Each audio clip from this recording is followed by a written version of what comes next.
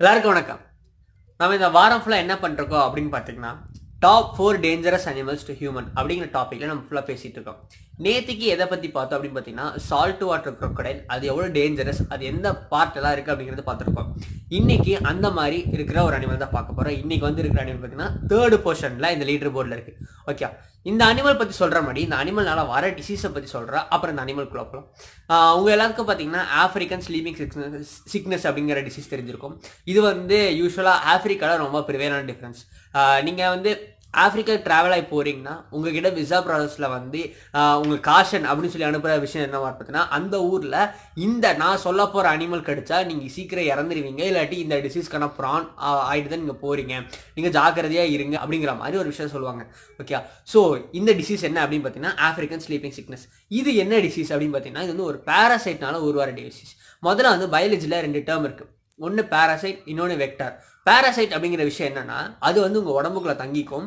உங்கள் உடம்புலேருந்து இருக்கிற சக்தியெல்லாம் எடுத்துகிட்டு அது வளர ஆரம்பிக்கும். ஆனால் வந்து என்ன ஆகுனா உங்கள் உடம்புக்கே திருப்பி பாதிப்பு உண்டாகும். இது வந்து ஒரு பேராசைட் இதே வந்து வெக்டார்னா என்ன அப்படின்னு பார்த்தீங்கன்னா அந்த பேரசைட்டை வேற ஏதோ ஒரு ஹாஸ்டலேருந்து அதாவது உங்களை மாதிரி வேற ஏதோ ஒரு உடம்புல அஃபெக்ட் இருக்குல்ல அந்த உடம்புலேருந்து உங்கள் உடம்பு கொண்டு வந்து தர்றது தான் இந்த வெக்டார் இன்னைக்கு நம்ம பார்க்க போகிற அந்த ஃப்ளை இல்லாட்டினா ஒரு அனிமல் அப்படி அது அது எது எது கேட்டகரி சேர்ந்தது பார்த்தீங்கன்னா இந்த வெக்டார் கேட்டகரி சேர்ந்தது.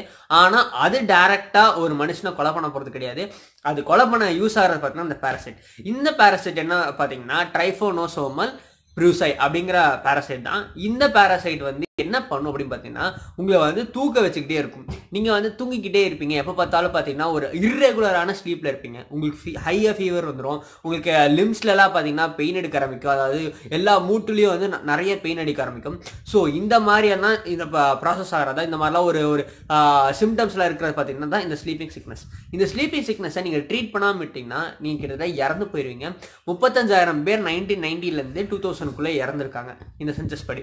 ஓகே இது என்ன பண்ணும். இந்த பேரசைட் எப்படி வேலை செய்யுது அப்படின்னு பார்த்தீங்கன்னா ஒன்ஸ் இந்த பேரசைட் உங்கள் உடம்புக்குள்ள போச்சுன்னா ட்ரைட்டோஃபோல் அப்படிங்கிற ஒரு கெமிக்கலை செக்ரெட் பண்ணும். இது என்ன கெமிக்கல் அப்படின்னு பார்த்தீங்கன்னா நம்மளா பாடி ஃபுல்லாக பார்த்தீங்கன்னா ஒரு கெமிக்கல்ஸ் தான் ஆகுது. கரெக்டாக இப்போ லவ் பண்ணுறீங்கன்னா அது ஒரு கெமிக்கல் தான். ஸோ நீங்கள் யாராவது ஒருத்தவங்க பிடிக்கல இல்லை உங்களுக்கு பசிக்குது அப்படின்னு பார்த்தீங்கன்னா அது ஒரு கெமிக்கல் தான். ஸோ அதே மாதிரி நீங்கள் தூங்கணும்னா அது ஒரு கெமிக்கல் தான் தேவைப்படும். ரைட்டா ஸோ அந்த கெமிக்கல் என்ன பார்த்தீங்கன்னா ட்ரைட்டோஃபோல் அப்படிங்கிற கெமிக்கல் தான் அது.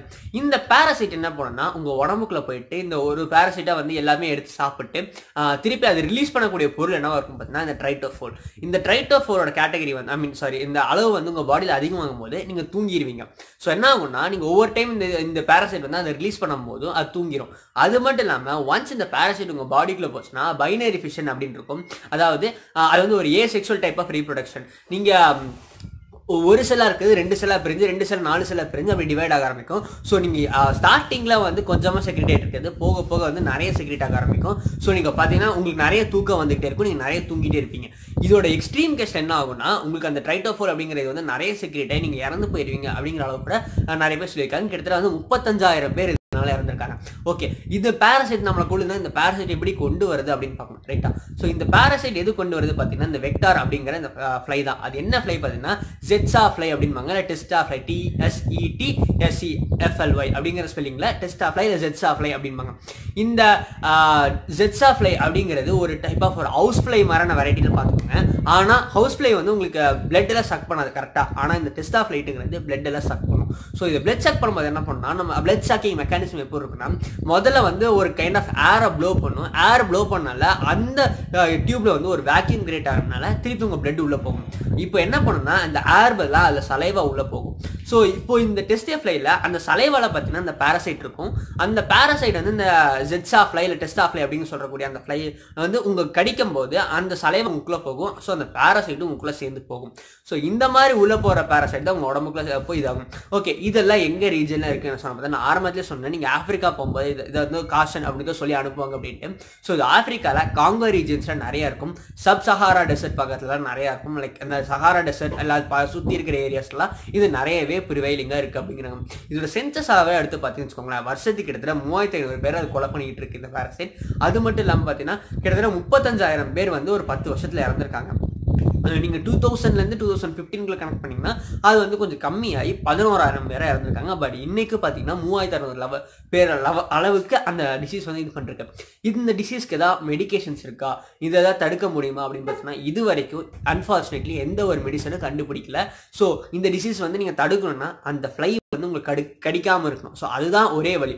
அந்த ஃப்ளை கடிக்காமல் இருக்கிற ஓடோமாஸ் போட்டு போனால் சரியாருமே பார்த்தீங்கன்னா ஓடோமாஸ்லாம் மஸ்கிடோக்கு முடிந்தால் வேலை அந்த பைக் வேலை செய்யாது.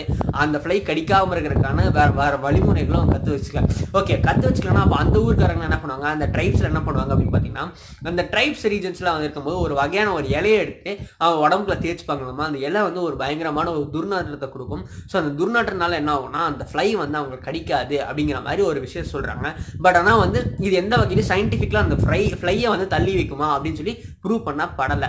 இப்போது இந்த ஃப்ளையோட சைஸ்லாம் என்ன இருக்கும் அப்படின்னு பார்த்தீங்கன்னா வெறும் மூணு எம்எம்லேருந்து பதினஞ்சு எம்எம்ல இருக்கும். சாதாரண ஒரு ஹவுஸ் ஃப்ளை மாதிரி ஒரு ஈ மாதிரி இருக்கும். நீங்கள் த இந்தியாவிலேருந்து சப்போஸ் ஒரு ஆஃப்ரிக்காவுக்கு போகிறீங்க அப்படின்னா இது சாதாரண ஈ தானே நம்மளை கடிக்கிட்டு சொல்லி விட்டிங்கன்னா நீங்கள் இறந்து போயிருவீங்க. இந்த விஷயத்தையும் ஞாபகம் வச்சுக்கோங்க.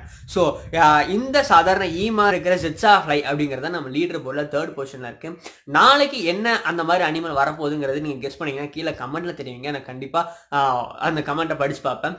ஸோ இந்த மாதிரி வேறு ஏதாவது வீடியோஸ்லாம் பேசினா கூட நீங்கள் கமெண்ட்டில் தெரிவிக்கலாம். நான் கண்டிப்பாக வீடியோஸ்லாம் போடுறேன். ஸோ நீங்கள் பர்சனலாக ஃபாலோ பண்ணால் கீழே இன்ஸ்டாகிராம் ட்விட்டர் லிங்க் ஃபேஸ்புக் லிங்க்லாம் கொடுத்துருக்காங்க கிளிக் பண்ணி ஃபாலோ பண்ணிக்கோங்க. நீங்கள் கொடுக்குற ஒரு ஒரு லைக் ஒரு ஒரு ஷேர் ஒரு ஒரு சப்ஸ்கிரைப் வந்து எனக்கு ஒரு பெரிய மோட்டிவேஷன் இருக்கும். So like share and subscribe அடுத்த வீடியோ வரைக்கும் நிரஞ்சன் சனிங்க ஆஃப் டடா பாய்